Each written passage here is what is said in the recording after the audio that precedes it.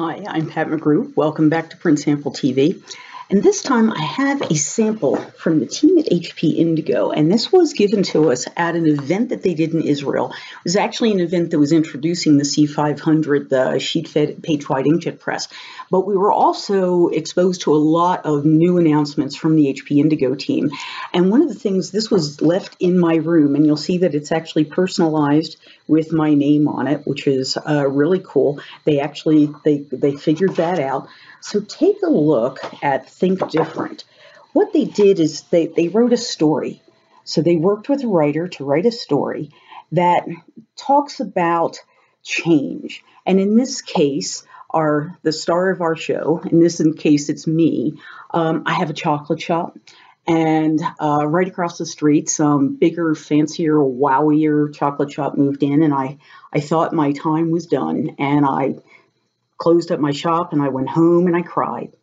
But while I was sitting on the pavement outside of my, my shop, I turned one of my chocolate wrappers into some origami and I gave it to, to a girl who was passing by. Well, she showed it to people, it went on Instagram, and the next morning when I came to my shop, I found out that there were just all sorts of people waiting for my chocolate. They wanted origami chocolate.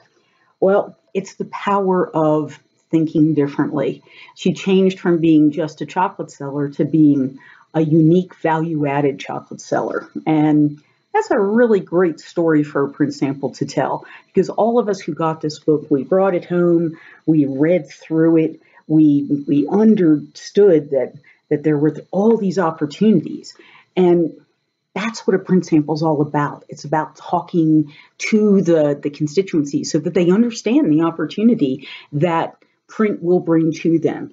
And it's not just the print itself, but it might be print married to augmented reality. It might be print married to a QR code that links to a website that has some couponing on it.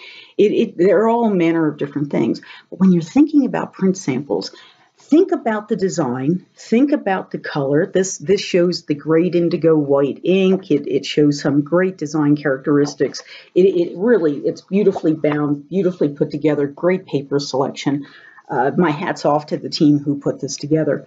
Um, but as you're putting your print samples together, you need to think the same way because this is the thing that people will hold on to, and this is the reminder they will have about what your capabilities are and what they can do. So the more things like this you have in your print sample arsenal, the better off you are. So um, from HP Indigo, this is their Think Different story. I'm Pat McGrew. This is Print Sample TV. Hope you keep coming back.